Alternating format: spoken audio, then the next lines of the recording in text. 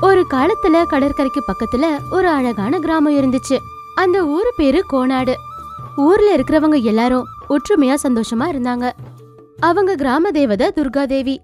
வருஷா வருஷம் அந்த துர்கா தேவிக்கு சிறப்பா உற்சவம் செஞ்சு நவராத்திரி நேரத்துல அவங்க ரொம்ப சிறப்பா பூஜைகளை செய்வாங்க. இப்படி அவங்க ரொம்பவே சந்தோஷமா இருந்தாங்க. அந்த ஊர் தலைவர் பேரு ராமராஜு. துர்கா தேவியோட பக்தர். ஹா என்னமோ நாளைக்கு இருந்து இதே மாதிரி வருஷ வருஷமா திருவிழா நடத்திக்கிட்டே வந்துக்கிட்டு இருக்கீங்க உங்களுக்கு கண்டிப்பாக நல்லதே நடக்கும் ராமராஜையா. ம் எல்லாம் அந்த அம்மாவோட தயதா. அம்மாவோட நன்மையால தான் நான் இதே மாதிரி வருஷ வருஷமா திருவிழா நடத்திக்கிட்டு வந்துக்கிட்டே இருக்கேன். அப்படின்னு பூசாரியும் ராமராஜுவும் பேசிக்கிட்டு இருந்தாங்க. இப்படி பேசிக்கிட்டு இருக்கும்போதே ஊர்க்காரங்க கொஞ்சம் பேரு அங்க வந்தாங்க. ராமராஜையா ஊரில் ஒரு பிரச்சனை வந்திருக்கு. ஐயோ என்ன அந்த பிரச்சனை? கொஞ்ச நாள்ல இருந்து மாட்டுங்க ஆடுங்க காணாம போய்கிட்டு இருக்கு அப்படியா? எப்படி காணாம போகுது? அதுதான் எங்களுக்கு புரிய மாட்டேங்குது ஐயா. சரி அப்படின்னா நான் இன்னையிலிருந்து காவலுக்கு வைக்கிறேன். அப்போ தெரியும் எப்படி காணாம போகுது அப்படின்னு. அப்படின்னு நானும் உங்கள் கூட துணையாக வரேன். ஆ அப்படியே பூசாரி ஐயா. இன்னைக்கு நைட் எல்லோரும் தூங்கினதுக்கப்புறம் நாங்கள் வெளியே போய் பார்க்கலாம். அப்படின்னு ராமராஜுவும் பூசாரியும் ராத்திரி ஊர் முழுக்க கண்காணிக்கலான்னு நினைச்சாங்க. நினைச்ச மாதிரியே அவங்க ராத்திரி மாறு வேஷத்துல யாருக்குமே தெரியாம வெளியே போனாங்க. பூசரி ஐயா இப்படி ஊருக்குள்ள மாட்டுங்க ஆட்டுங்க எல்லாம் காணாம போகிறதுக்கு காரணம் என்னதான் இருக்கும் என்னன்னு சொல்றது நம்ம ஊர் ஜனங்க அஜாகிரதையா இருக்கிறதுனால மாட்டுங்க அப்படியே போய்கிட்டு இருக்கோ. ம் அப்படி போனா மறுபடியும் திரும்பி வரணுமே. ஆமா ராமராஜையா ஆனா எதுக்கு திரும்பி வரல? இப்படி அவங்க பேசிக்கிட்டே போகும்போது அங்க யாரோ எதையோ சாப்பிடுற மாதிரி ஒரு சத்தம் கேட்டுச்சு. அங்க போய் பார்த்தா ஒரு பிரம்ம ராட்சசி ஆடு மாடுங்களை எடுத்துட்டு வந்து அது சாப்பிட்டுக்கிட்டு இருந்துச்சு. அப்பதான் புரிஞ்சுது ராமராஜுவுக்கு விஷயம் என்னன்னு. உடனே அவங்க சத்தம் போடாம அங்க இருந்து நடந்து வீட்டுக்கு வந்துட்டாங்க. என்னாச்சு பூசரி ஐயா ஏன் பயப்பட்டுக்கிட்டு இருக்கீங்க? பின்ன பிரம்ம ராட்சசியை பார்த்தா பயப்படாம? முதல்ல இந்த மாதிரி நிலைமையில பிரம்மராட்சசியை பார்த்தா எனக்கு சத்தியமாக தூக்கவே வர மாட்டேங்குது ஐயா. அப்படின்னா இவ்வளோ நாளா ஊருக்குள்ளே மாட்டுங்க ஆட்டுங்கெல்லாம் காணாமல் போகிறதுக்கு காரணம் அந்த பிரம்ம ராட்சசியா ம் பூசரி ஐயா இந்த ராட்சசியோட தொல்லையிலிருந்து வெளியே வர்றதுக்கு ஏதாவது வழி சொல்லுங்க. எப்படி இருந்தாலும் நாளைக்கு ஊரில் திருவிழா நடக்குது இல்லையா? அப்போது இந்த ராட்சசி மறுபடியும் ஊருக்குள்ளே வராத மாதிரி சிறப்பாக ஏதாவது ஒரு பூசையை செய்யலாம் அப்படின்னு அவங்க ரெண்டு பேரும் பேய் ஊருக்குள்ள வரத தடுக்கிறதுக்காக பூஜை செய்யலாம்னு நினைச்சாங்க. நினைச்ச மாதிரியே கண் முழிக்கிற நாள் அன்னைக்கு தடுக்கிற பூஜையை அவங்க செஞ்சாங்க. கூடவே அம்மன் கிட்ட இப்படி வேண்டிக்கிட்டாங்க. அம்மா துர்கம்மா எவ்வளவு வருஷத்துலேருந்து எங்க குடும்பத்தவங்க எங்க வம்சத்தவங்க இந்த ஊரு உனக்கு பூஜையை செஞ்சுக்கிட்டு இருக்கோம் இந்த பிரம்ம ராட்சசி கிட்ட இருந்து எந்த தொந்தரவு வராத மாதிரி நீ தான் எங்களை காப்பாத்தணுமா? இப்படி மறுநாள் பிரம்ம ராட்சசி ஊருக்குள்ள வரதுக்காக முயற்சி செஞ்சுது. ஊருக்குள்ள கால் வைக்கும்போதே நெருப்பு அதை தடுக்க ஆரம்பிச்சுது. அட என்ன இது? நான் ஊருக்குள்ள போகலான்னு பார்த்தா இந்த நெருப்பு என்னை தடுக்குதே. என்னவா இருக்கும்? ஒருவேளை அந்த துர்கா தேவிதான் என்ன ஊருக்குள்ள வரவிடாம இப்படியெல்லாம் செய்து போல. சரி பரவாயில்ல. எங்க ராட்சசர்களுக்கே தேவரான அந்த சிவன் கேட்ட வரத்தை கொடுக்கிறவர் இல்லையா? இப்பவே நான் அந்த சிவனை நினைச்சு கடுமையான தவம் இருக்கிறேன். எப்படிப்பட்ட சக்தியா இருந்தாலும் சரி என்னை நிறுத்த அது பயப்படணும். அப்படி ஒரு வரத்தை நான் வாங்கிக்கிறேன். இப்படி பிரம்ம ராட்சசி சிவன் கிட்ட வரம் வாங்குறதுக்காக அது தவம் செய்யலான்னு கடற்கரைக்கு பக்கத்துல போய் அங்க கடுமையான தவம் செஞ்சுது. பூசாரி அந்த கடற்கரைக்கு பக்கத்துல தவம் செஞ்சுக்கிட்டு இருந்த பிரம்ம ராட்சசிய பார்த்தாரு. உடனே ராமராஜு கிட்ட சொன்னாரு. என்னாச்சு பூசாரி ஐயா? ஏன் இப்படி பயப்படுறீங்க? நாம அந்த பிரம்ம ராட்சசி போயிடுச்சு அப்படின்னு நினச்சிக்கிட்டு இருந்தால ஐயா? ஆனால் அது போன மாதிரி தெரியல. என்னாச்சு? மறுபடியும் ஊருக்குள்ளே வந்துருச்சா? இல்லைங்கய்யா ஆர்க்கு பக்கத்தில் உட்காந்துக்கிட்டு ஓம் நம சிவாயன்னு சொல்லிக்கிட்டு தியானம் பண்ணிக்கிட்டு இருக்குங்கய்யா. ஐயோ அப்படியா? அப்படின்னு நாங்கள் அந்த அம்மா கிட்ட வேண்டிக்கணும். அம்மா துர்கம்மா அந்த ராட்சசி பெரிய சக்தியை படிக்கிறதுக்காக சிவனுக்கு பூஜை செஞ்சுக்கிட்டு இருக்கு. அந்த மாதிரி சக்தி கிடைச்சா இனிமே எங்கள் ஊர் சுடுகாடாயிடும். எங்களை அந்த ராட்சசி கிட்ட இருந்து காப்பாத்துமா? அப்படி துர்கம்மாவை வேண்டிக்கிட்டாரு ராமராஜு. அப்படி வேண்டும் போதே அங்க அம்மன் தரிசனம் கொடுத்தாங்க. இன்னொரு பக்கம் என்னவோ சிவன் பிரம்ம ராட்சசி செஞ்ச தவத்தை பார்த்து கருணை காட்டுறதுக்காக பூலோகத்துக்கு அவர் போய்கிட்டு இருந்தாரு.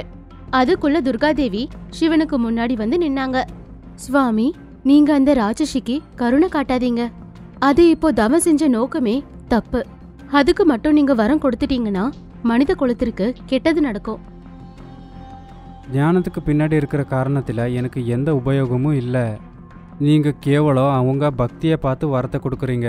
என்னை எவ்வளோ பக்தியில் வேண்டிக்கிறவங்களுக்கு நான் வரத்தை கொடுக்காம இருக்க மாட்டேன். அது என்னுடைய தர்மம். இப்படி துர்காதேவி சொல்றத கேட்காம சிவன் பிரம்ம ராட்சசிக்கு வரத அருள் புரியறதுக்காக அவரு பூலோகத்துக்கு போனாரு. துர்காதேவி சிவன் அங்க வர்றதுக்கு முன்னாடியே அங்க போய் அந்த பிரம்ம ராட்சசிய எரிச்சிட்டாங்க. என்ன மன்னிச்சிருங்க. மனித குலத்திற்கு நல்லது நடக்குதா? நான் இந்த மாதிரி செஞ்சேன். நல்ல வேலை செஞ்ச தேவி. எனக்கு தர்ம சங்கடம் வராத மாதிரி பார்த்துக்கிட்ட. இப்படி ரெண்டு பேரும் சேர்ந்து அந்த ஊரை காப்பாத்தினாங்க. ஒரு ஊர்ல சாரதா அப்படிங்கிற வயசான பாட்டி இருந்தாங்க. பாவம் அவங்களுக்குன்னு யாருமே இல்ல. ஒரு சின்ன மண் வீட்டுல கிடைக்கிற பென்ஷன் பணத்துல வாழ்ந்துகிட்டு துர்கை அம்மனை தினமும் கும்பிட்டுக்கிட்டு இருந்தாங்க. எப்பவும் போலவே அன்னைக்கு கூட காலையிலே எழுந்திருச்சு தலைக்கு குளிச்சு துர்கை அம்மனுக்கு பூஜையை செஞ்சாங்க. பூ பழம் எல்லாத்தையும் வச்சு கையெடுத்து கும்பிட்டாங்க.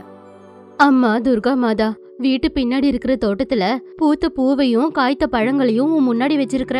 பலகாரம்லாம் எனக்கு செய்ய வராதுமா? செய்ய வராத சமையல எதுக்கு செஞ்சு உன்னை கஷ்டப்படுத்தணும்னு நான் அதை செய்யலமா நீ எதுவும் நினைக்காம இந்த பூவை வச்சுக்கிட்டு பழத்தை சாப்பிடுமா? அப்படின்னு மேலுக்கு சொன்னாலும் உள்ளுக்குள்ள சாரதாவுக்கு பயம் இருந்துகிட்டு தான் இருந்துச்சு. கண்ணீரை தொடச்சு இப்படி சொன்னாங்க. அம்மா துர்கம்மா உனக்கு இந்த ஏழையோட பக்தி மேல அன்பு இருக்குல்ல? அப்படின்னு சொல்லிக்கிட்டு இருக்கும்போது துர்கை அம்மன் வீட்டுக்கு வெளியில வந்தாங்க. அவங்களுக்கு தெரிஞ்ச துளசியா மாறினாங்க. குரலை மாத்தி பேசினாங்க. பாட்டி பாட்டி எங்க இருக்கீங்க? அப்படின்னு வீட்டுக்குள்ள வந்தாங்க. துர்கை அம்மனோட பூஜை செஞ்சுக்கிட்டு இருந்த சாரதா வீட்டுக்குள்ள வர்றது யாருன்னு பார்த்தாங்க. துளசி துர்காமாவுக்கு பூஜை செஞ்சுக்கிட்டு இருக்கேன். இங்க வா. அப்படின்னு சொன்னாங்க. அத கேட்டதுமே துளசி துர்கை அம்மனுக்கு பூஜை செய்யற அந்த இடத்துக்கு வந்தா. இது என்ன துளசி? வழி மாறி இங்க வந்திருக்கிற? என்ன செய்யறது பாட்டி?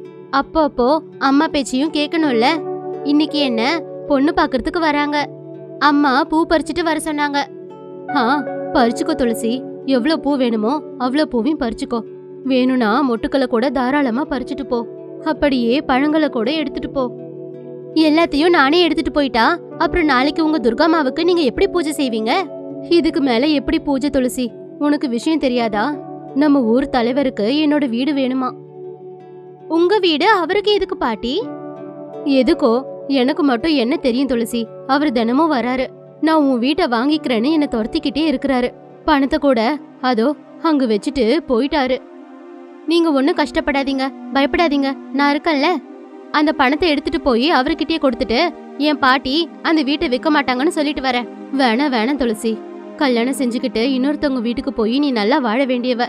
எனக்காக நீ போய் சண்டை போட வேணாம் துளசி. முன்னாடிலாம் கெஞ்சி வீட்டை கேட்கும்போது நான் நல்லவன்னு நினைச்சுக்கிட்டு இருந்த துளசி. ஆனா ரெண்டு மூணு நாளா அவன் ஒரு ரவுடி மாதிரி நடந்துக்கிறான். நீங்க பயப்படுறீங்க இல்ல? ஆமா துளசி நான் பயப்படுறேன் தான். ஆனா அவன் என்ன எதனா செஞ்சிருவானோ அப்படின்னு ஒண்ணும் இல்ல. எனக்காகலாம் நான் பயப்படவே இல்ல துளசி. அதை கேட்டு துளசி ஆச்சரியமா? உங்களுக்காக இல்லையா? அப்ப வேற யாருக்காக பாட்டி? இதோ இந்த துர்காமாக்காக தான். நான் பயப்படுறதுக்கு எனக்குன்னு யார் இருக்கா துளசி? நான் நம்புறது பூஜை செய்யறது எல்லாம் இந்த துர்காமாவை தான்.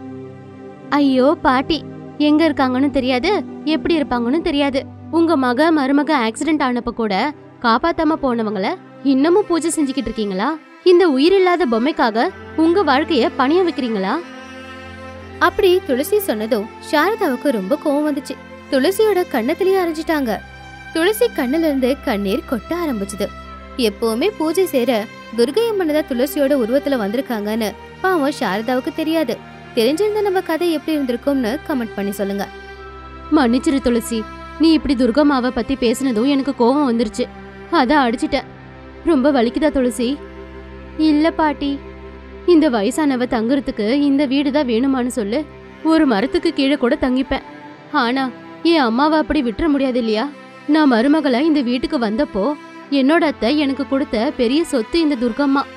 இருக்கலாம் பாட்டி ஆனா உங்களை பாக்குறவங்க என்ன சொல்லுவாங்க? பைத்தியக்காரின்னு சொல்லுவாங்க துளசி. ஆனா நான் பைத்தியக்காரி இல்ல. எனக்கு இருக்கிறது பைத்தியம் இல்ல. எனக்கு இருக்கிறது அன்பு பக்தி. எனக்கு துர்கம்மா தான் எல்லாமே. அதுக்கு தான்.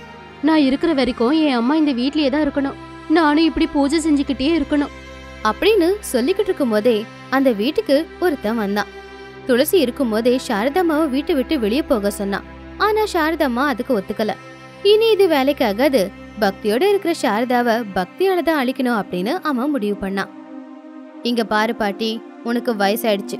உனக்கும் எனக்கும் சண்டை வேணாம். அதுக்கு பதிலா நான் ஒரு போட்டி வைக்கிறேன். நீ துர்கையம்மனோட பக்த தானே? நீ உன்னுடைய துர்கையம்மனை இப்போ இங்க வர வச்சு காட்டு. அவ்வளவுதான். வர வச்சிட்டனா இந்த வீட்டை உன்கிட்ட கொடுத்துட்டு என் பாட்டுக்கு நான் போய்கிட்டே இருக்கேன். கூப்பிடுங்க பாட்டி. உங்களோட பக்தி என்னன்னு இவங்க எல்லாருக்கும் தெரியட்டும். ஆ சரிம்மா. அப்படின்னு சொன்னதும் சாரதா துர்கையம்மன் கிட்ட வேண்டிக்கிட்டாங்க. அப்போ துளசி துர்கையம்மனோட உருவத்துக்கு மாறினான் அதை பார்த்து அவனுக்கு பார்வை போயிடுச்சு. அப்போ அவன் கவலைப்பட்டு அம்மா சாரதாம்மா என்ன மன்னிச்சிடுங்கம்மா. துர்கையம்மனை நான் பார்த்தேன். என் கண் பார்வை போயிடுச்சு. அப்படின்னு அவன் சொன்னதுமே சாரதா கண்ணை திறந்து பார்த்தாங்க. அங்க துர்கையம்மன் இருந்தாங்க. ஆனா துளசி இருக்கல. அப்படின்னு துளசியோட உருவத்துல வந்தது துர்கை அம்மன் தான்றத புரிஞ்சுக்கிட்டாங்க. உடனே அழ ஆரம்பிச்சாங்க. எதுக்கு சாரதா அழுகுற? நான் உன்னை போய் அடிச்சிட்டனேமா அடிச்சிட்டதா நீ நினைக்கிற. ஆனா இப்படி நீ தொட்டன்னு நான் ரொம்பவே சந்தோஷப்படுறேன் சாரதா. அப்படி சாரதாவும் துர்கை அம்மனும் சந்தோஷமா பேசிக்கிட்டு சந்தோஷமா இருந்தாங்க.